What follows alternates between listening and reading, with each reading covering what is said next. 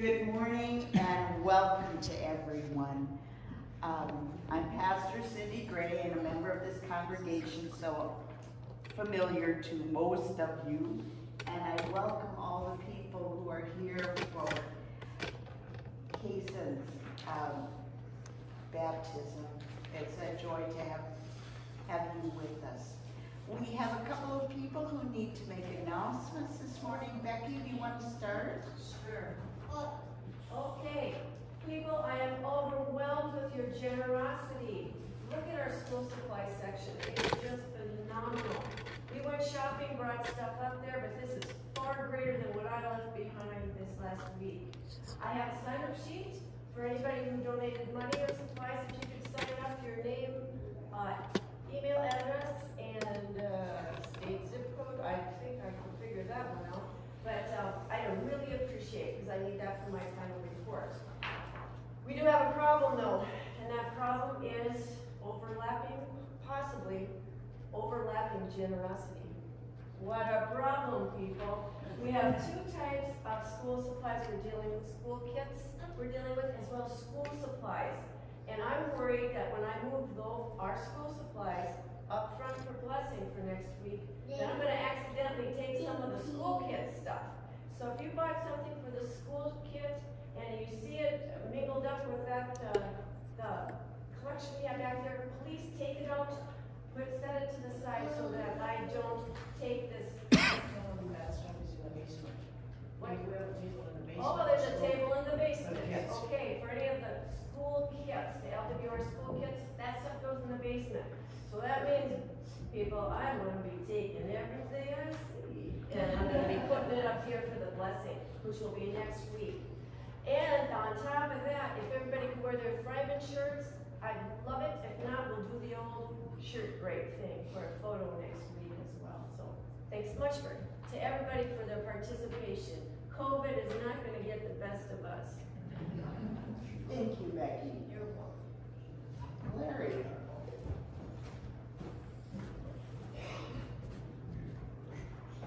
First of all, I want to give greetings to all of you from Kathy. She wants to thank you for your prayers and care and concern. Um, she continues to have uh, difficulty breathing at times and uses the inhaler a lot, especially with uh, smoky days or high humidity days. Uh, so thank you for your care and concern and prayers. Secondly, um, the last meal, uh, everyone's table will be held here at Grace Lutheran Church, at least that's the plans at the moment, on Tuesday, August 17th. Um, in the meantime, we want your input, and there are these sheets on the table and back.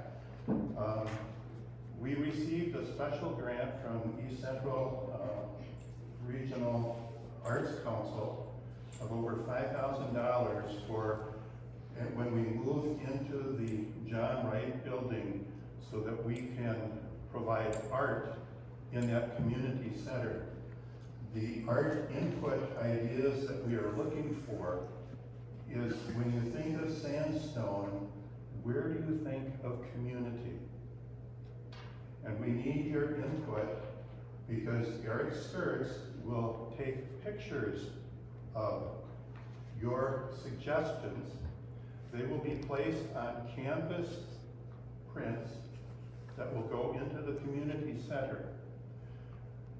Someone at, on October 17th, we will have an open house and someone will get a canvas photo print and 10 other people will get note cards of all those photos.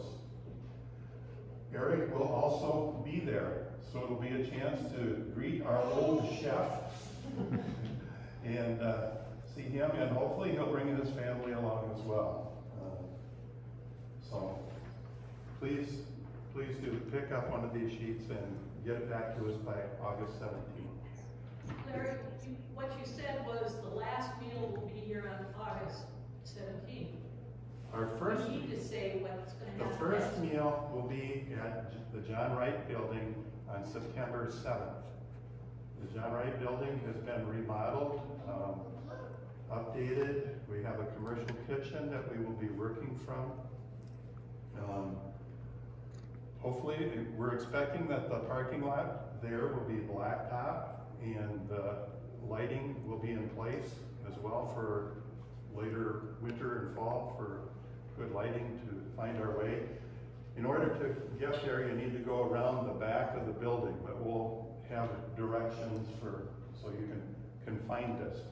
On Thursday of this week, those of you who have been volunteers are more than welcome to come uh, at five o'clock. Um, From five o'clock to five thirty, I and some others will be serving root beer floats. And then at five thirty, we will break into our board meeting. And if you want to stick around for the board meeting, you're more than welcome. Uh, It's a- an exciting group to be a part of, and I thank Grace Lutheran Church for the fantastic support you have given us in providing the space for us, as well as many generous donations to enable this ministry to take place in our community. So thank you all. Larry, I'd like to thank you and all the people that supported you and all the work you did to get this thing started for the last couple of years. And it's really blossomed into a, a great ministry, so thank you. Without you, this wouldn't happen.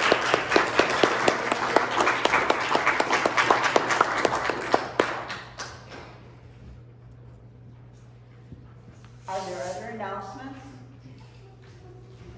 I would just like to uh, let those of you who haven't communed with us in the last months know about the little communion cups that were in the back of the church. If you, that's, you need to pick one of those up. If you didn't, then um, raise your hand and we'll see that you get one. I always find that the top layer is the hardest one to get off to get to the bread. So I do it before church. And when it comes to the service, after we have the Lord's Prayer, then we'll all take the bread together and we'll all drink the wine or grape juice together. So that's the part when you eat and drink. So we begin. The grace of our Lord Jesus Christ, the love of God, and the communion of the Holy Spirit be with you all. And also with you. I invite Kason and his parents and his sponsors to come forward at this time.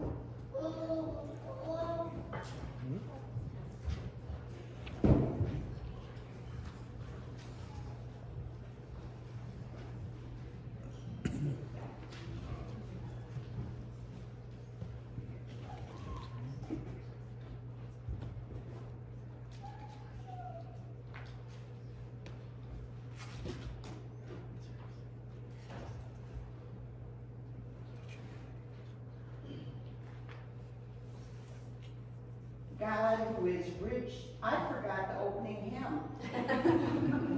And I love that hymn, so I don't want to miss that. We'll do it after the baptism, okay? God who is rich in mercy and love gives us a new birth into a living hope through the sacrament of baptism. By water and the word, God delivers us from sin and death and raises us to new life in Jesus Christ. We are united with all the baptized in the one body of Christ, anointed with the gift of the Holy Spirit, and joined in God's mission for the life of the world. Who presents this child for the sacrament of holy baptism? We present Kason Wymanagre for baptism.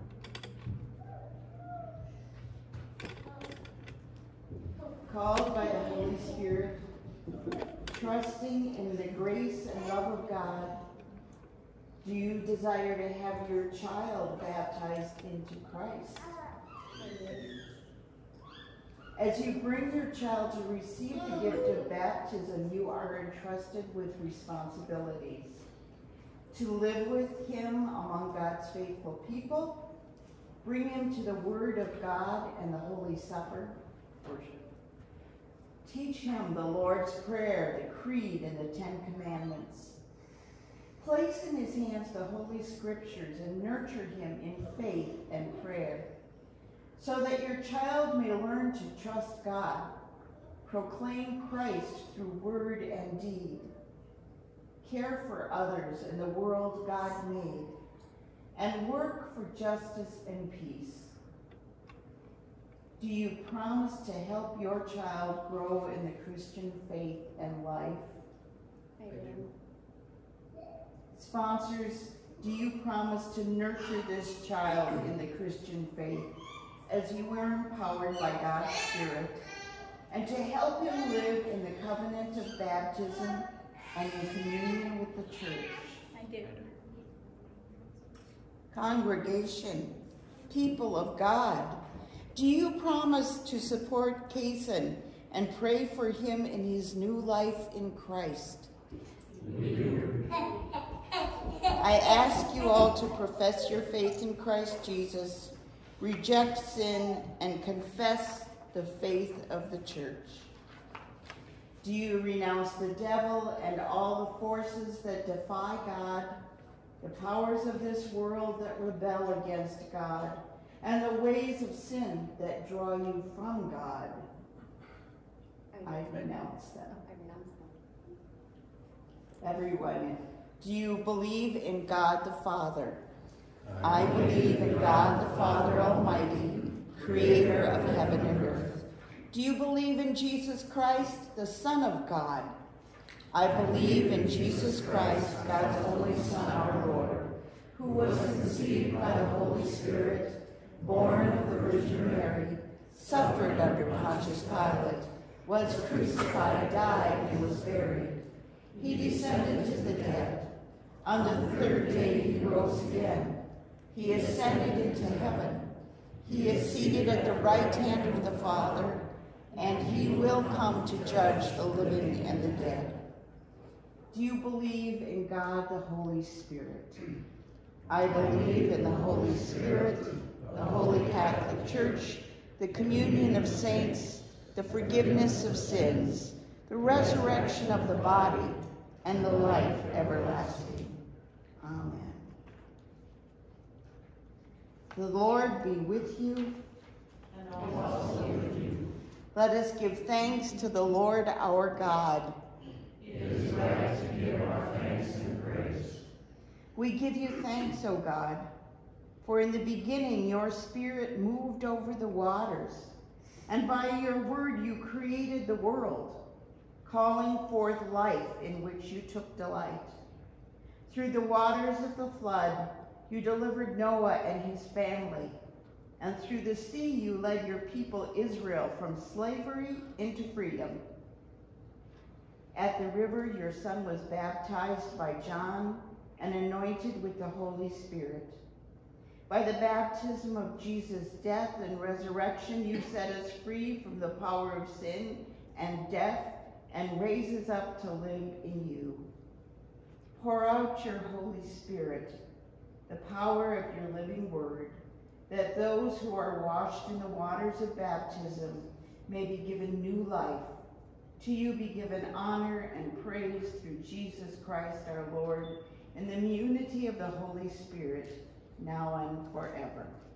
Amen. And if you would hold your son over the baptismal font. Kason Wyman, I baptize you in the name of the Father, and of the Son, and of the Holy Spirit. And I don't use last names in this baptismal part because he's getting a new family, the Christian family, and he's a child of God. We give you this candle and tell you to let your light so shine before others that they may see your good works and glorify your Father in heaven.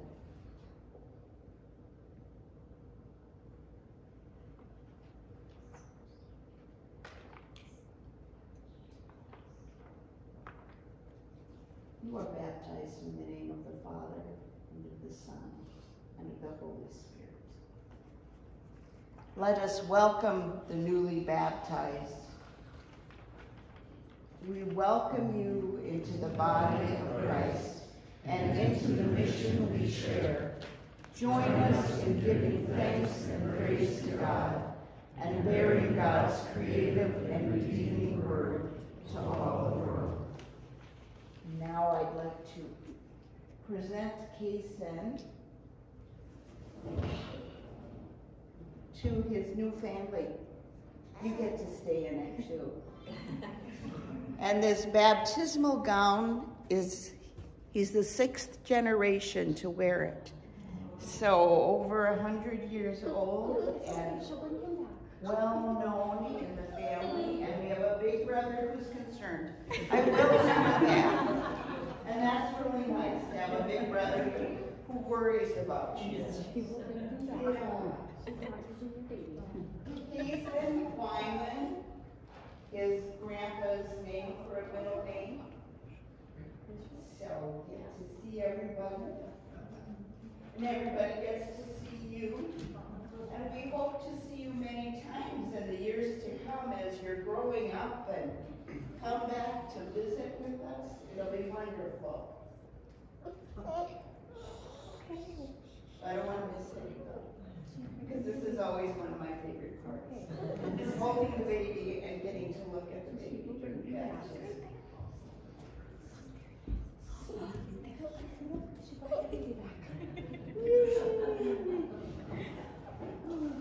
And I have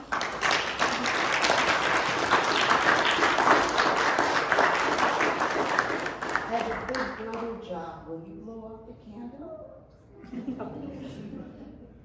Eric, will you blow up? Thank you. I rarely have a two-year-old who um, says no to that that joy, and um, but he doesn't know me. Yeah. And I would like to present you with certificates from the congregation graciously filled out by Diane Seymour, who has better penmanship than I. Kendra, Eric, which you got. Okay. And um, you might want to dry, let this dry before it goes into the bag. Um, You can handle these things too. Oh, you, you're a mom of two, you've got everything. We thank you and we welcome you into God's family. Thank you. And you may return to your seats. And now, I'll- oh, you've got the gathering hymn up already. And it's in the EAW, ELW five thirty-two. Let's sing it now.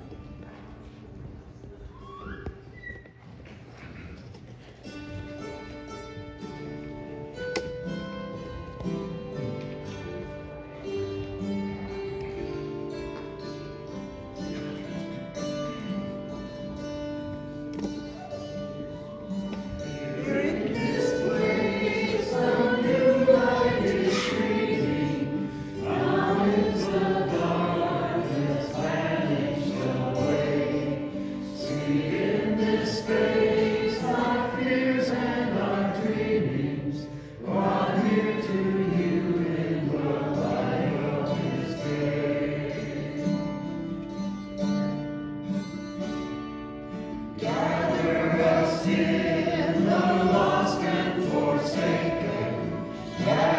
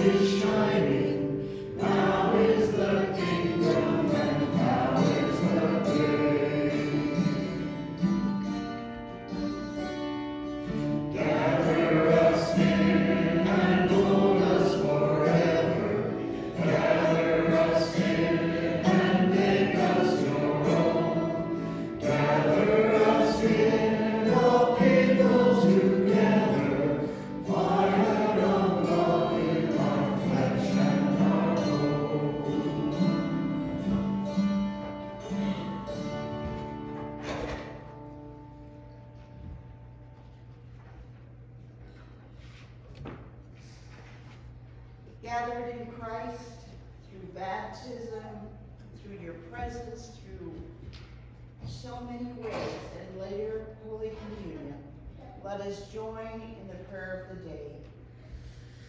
Gracious God, your blessed Son came down from heaven to be the true bread, that gives life to the world. Give us this bread always, that he may live in us and we in him, and that strengthened by this food, we may live as his body in the world. Through Jesus Christ, our Savior and Lord. Our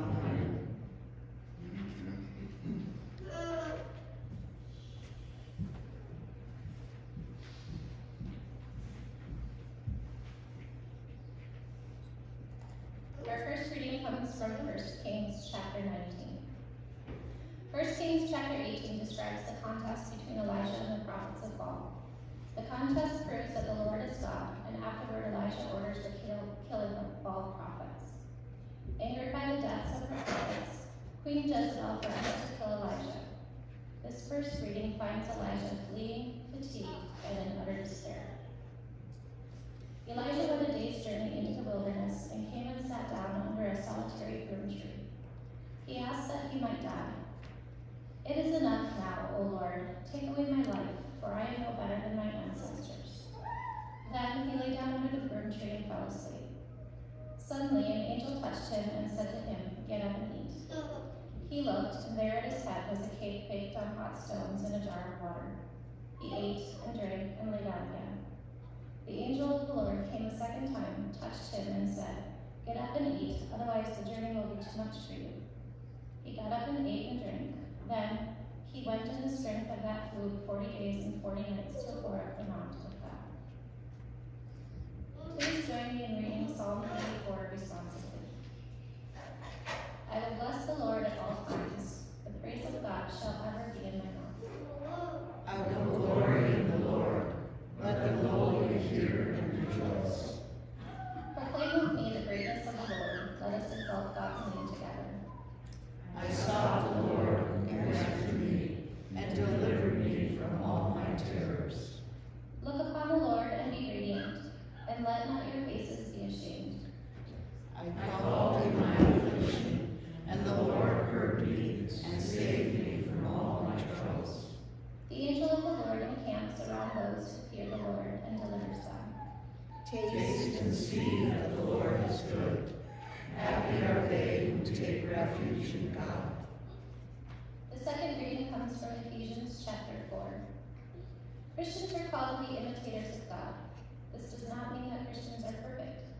Rather, the Spirit is at work in our lives so that our actions and attitudes genuinely reflect the love and forgiveness we have received through Christ and his death. So then, putting away falsehood, let us all speak up, speak the truth to our neighbors, for we are members of one another. Be angry, but do not sin. Do not let the sun go down on your anger, and do not make room for the devil. Thieves must give up stealing. Rather, let them labor and work honestly with their own hands, so as to have something to share with the needy. Let no evil come out of your mouths, but only what is useful for building up, as there is need, so that your words may give grace to those who hear. And do not grieve the Holy Spirit of God, with which you are marked with the seal for the day of redemption. Put away from you all bitterness and wrath and anger and together with all malice. And be kind to one another, tender-hearted, forgiving of one another, as God in Christ has forgiven you.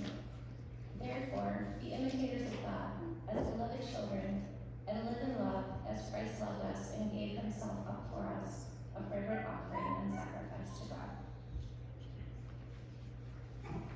Please stand for the gospel.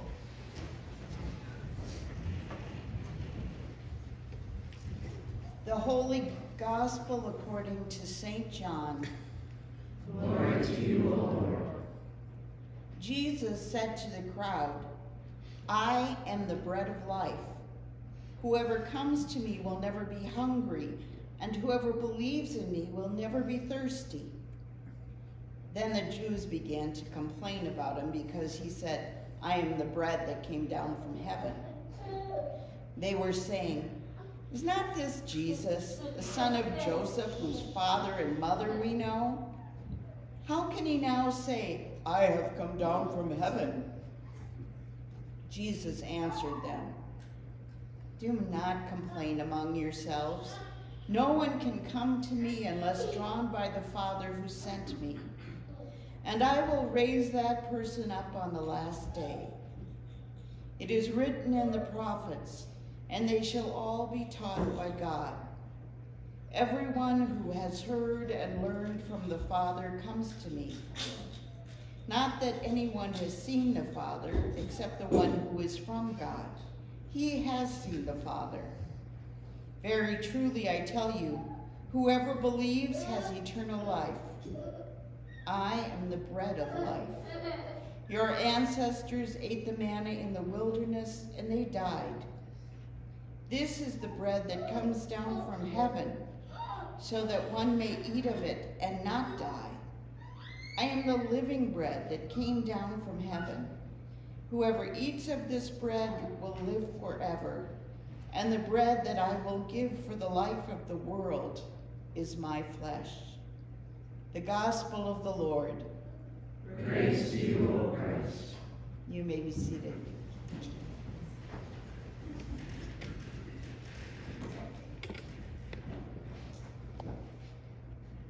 In our day and age, we are bombarded with words all the time. The television, the newspaper, um, not so much anymore, but radio, text messaging, Facebook, tweets. What other ways do you receive information, words that come at you? We have books in our homes and we go to the library. We see movies or we watch videos, and words fly at us from billboards and magazines. Not only can we write letters or emails, we have telephones and people text. And if something significant happens, we hear it over and over again in sound bites. And let's not even talk about commercials. Each day we hear and read so many words that we forget how great an impact words can have on our lives. We don't quite believe just words can do anything. Therefore, how can the Bible call Jesus the Word? And how come the Word is also the bread of life? Our time and country are so different from Jesus' time. In many ways, we're still the same, but there's quite the difference in communication and in other things. We hardly think of bread as anything too important either. It's primarily a food group that includes macaroni and cereal, and um, we cut it back on it to control our carbs. We can eat fast food, Chinese food, Mexican food, takeout food, frozen food, homemade foods. But for centuries, bread was the primary food of the Western world. You might get some fish or meat or cheese, some fruits or vegetables to go with it, but bread was the main part of the meal that satisfied you, satisfied you and filled you up. You've heard bread called the staff of life. It's that staff that a man can lean on to travel over rough ground. The bread of life, the staff, the bread is the staff of life. And the makings for a very simple bread, manna, was what God sent to the Israelites to eat in the wilderness when he freed them from slavery in Egypt. It was bread and quail that they lived on for 40 years until they reached the promised land. When Elijah was ready to give up and die because Jezebel had put a price on his head, God sent him bread to eat. The lesson says cake, but this is one wasn't from a bakery and frosted. It was a kind of bread. Bread and words from an angel. Get up and eat. Get up and eat. Otherwise, the journey will be too much for you. Elijah was fed by God by bread and words. And with that nourishment, he was empowered to take up his task again. Scripture said he went in the strength of that food for 40 days and 40 nights. We forget how powerful bread and words are. But every one of you can think of a time when you felt the power of words. Words that changed your life. In my early 20s, I was uh, floundering a bit what to do with my life. I had quit college and was working as a checkout at the Woolworth store in town. And one afternoon, I was canoeing with my brother and one of his friends, his friend Dave, who said, so, so Cindy, have you found your niche in life working at Woolworth? These words changed my life. Within a week, I was registered to go back to college. Words have power. I love you. Will you marry me? It's a boy. The job is yours. Mm, words can also have a negative impact. But words do strike at our hearts and they change our lives forever. We know that's true. And the words, you are forgiven and believe in Jesus and have eternal life are true. Jesus is the ultimate Word of God. He is the bread of life, come down to feed us now and nourish us for our life's journey. The one who gives us life for eternity. The lessons in John are symbolic and somewhat mysterious. but they show us what God is like and how he acts in our lives. Jesus is the living bread that came down from heaven, and the world ate him up. Part of the world ate up every word he spoke and was changed by what they heard.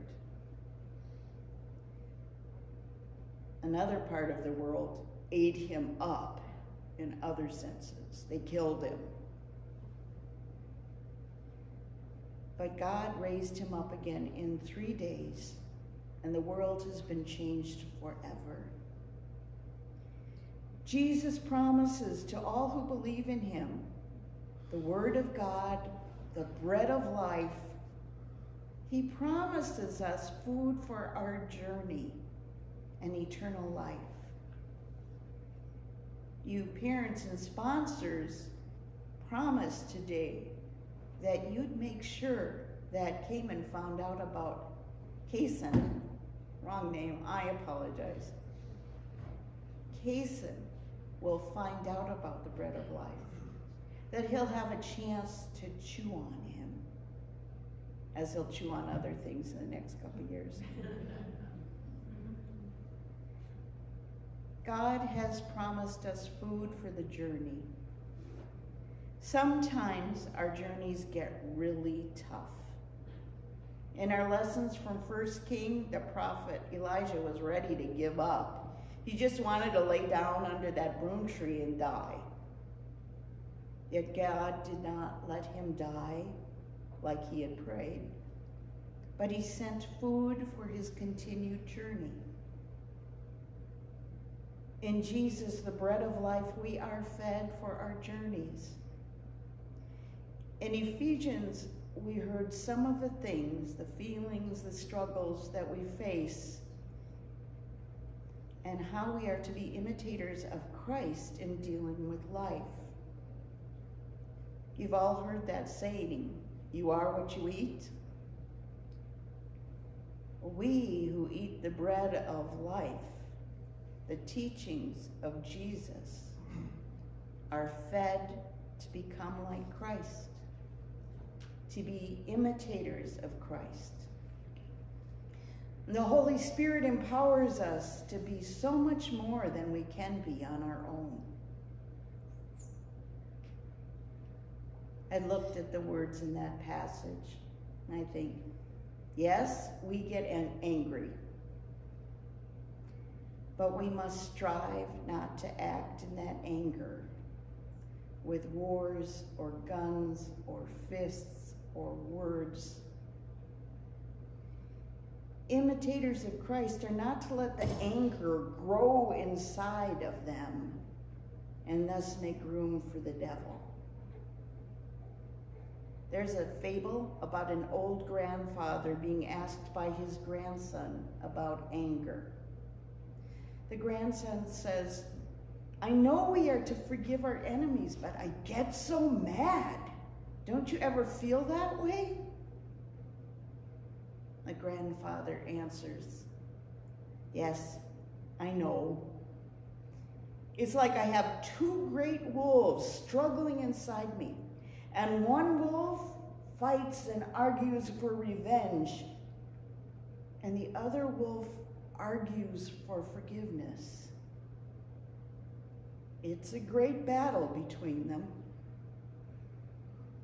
The grandson then asks, which one wins?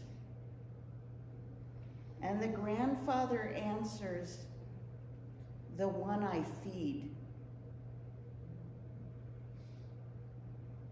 The writer of Ephesians urges us not to let the sun go down on our anger. It's another way of saying don't feed the wrong wolves. Don't sit and think about all the reasons that you have to be angry or hateful. But feed on the Word of God.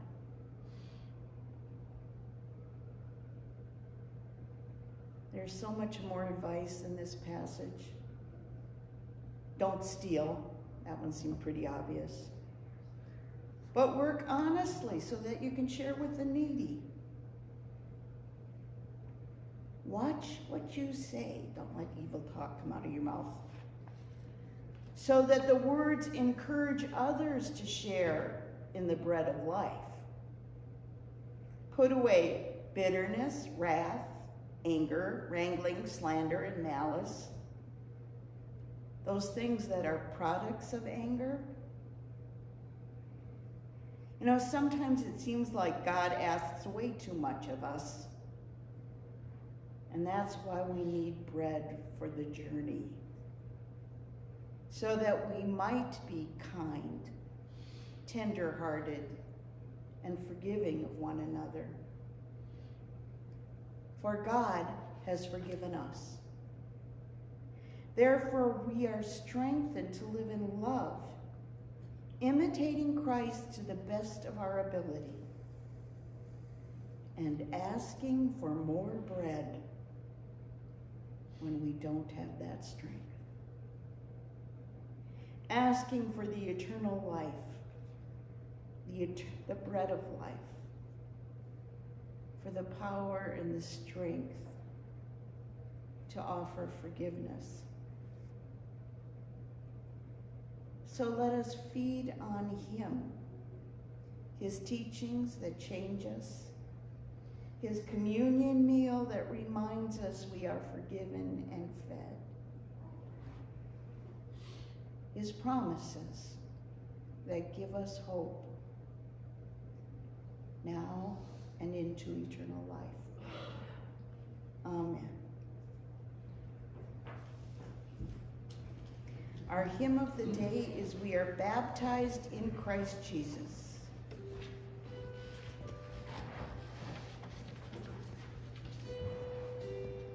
Rooted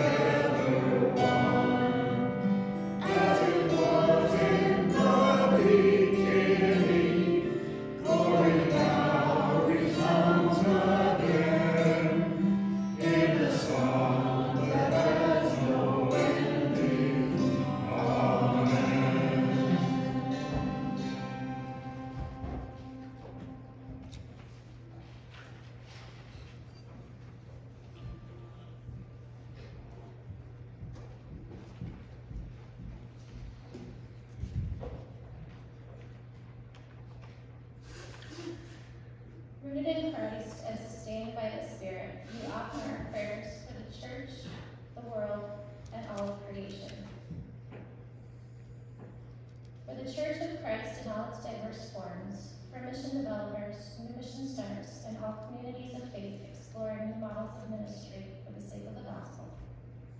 For congregations facing difficult decisions about their future, God in your mercy. Prayer. For the health and well-being of creation, for shade trees that provide refuge from the hot summer sun, for lakes, rivers, and oceans contaminated by pollution, and all who lack clean water. God in your mercy. Hear our prayer. For those called to positions of authority in our legal system, we pray. For judges, lawyers, law clerks, and court employees who ensure the fair administration of justice. For corrections officers and prison chaplains, that they would deal mercifully with those who are incarcerated. God in your mercy.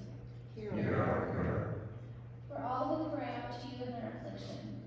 For exiles, refugees, and others who face long and difficult journeys uncertain about the future.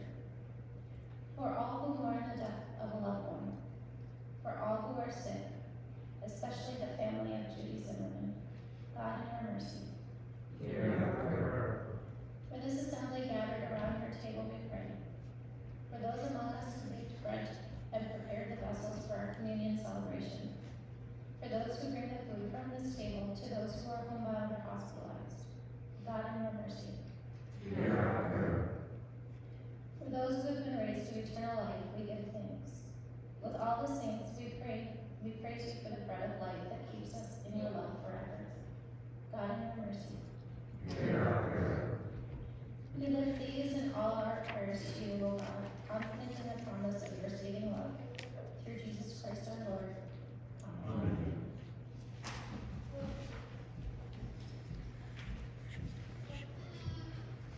The peace of Christ be with you all. And let us share, Also with you. and let us share God's peace.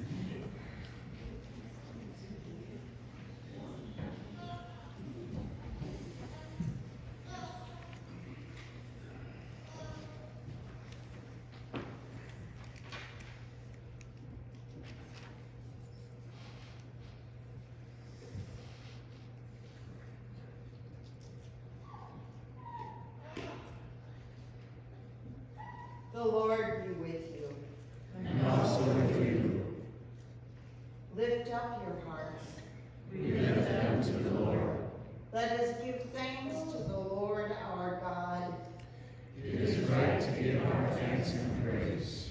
It is indeed right, our duty and our joy, that we should at all times and in all places give thanks and praise to you, Almighty and merciful God, for the glorious resurrection of your Savior, Jesus Christ, the true paschal Lamb, who gave himself to take away our sin, who in dying has destroyed death, and in rising has brought us to eternal life.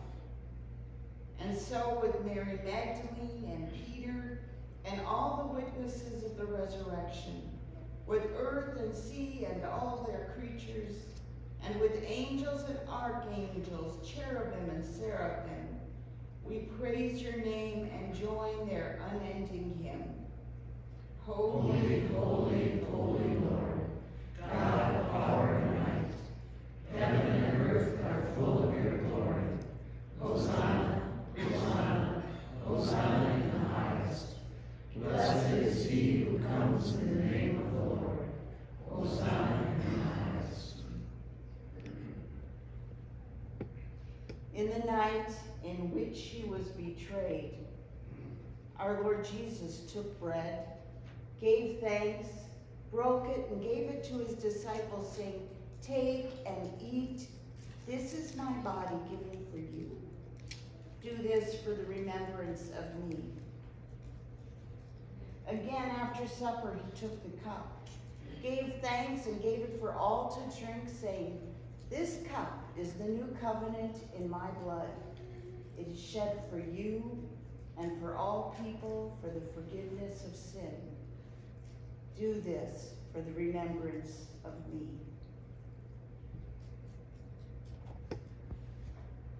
Let us pray as Jesus taught us.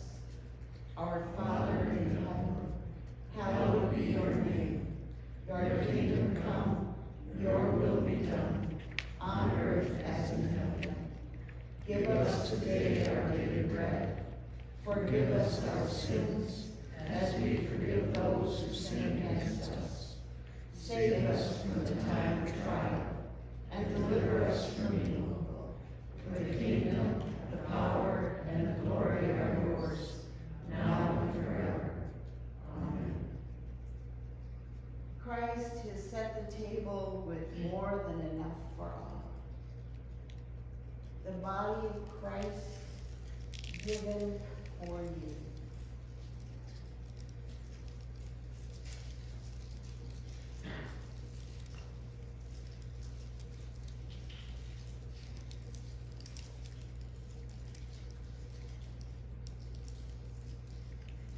The blood of Christ shed for you.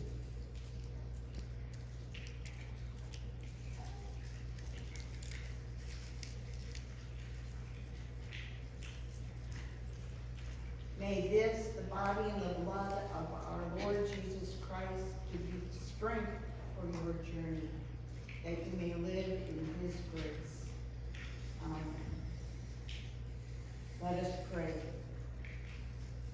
Wellspring of joy, Jesus, bread of life, we have received from your table more than we could ever ask. As you have nourished us in this meal, now strengthen us to love the world with your own life. In your name we pray. Amen. The blessing of God who provides for us, feeds us, and journeys with us be upon you now and forever. Amen. Our closing hymn is O Living Bread from Heaven, number 542.